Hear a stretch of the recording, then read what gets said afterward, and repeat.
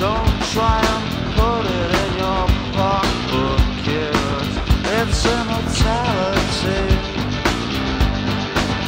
It's immortality. Yeah.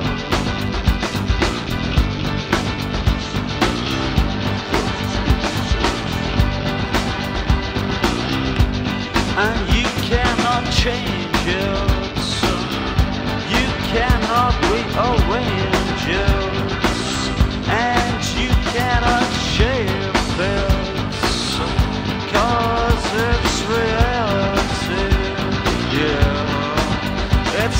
talent.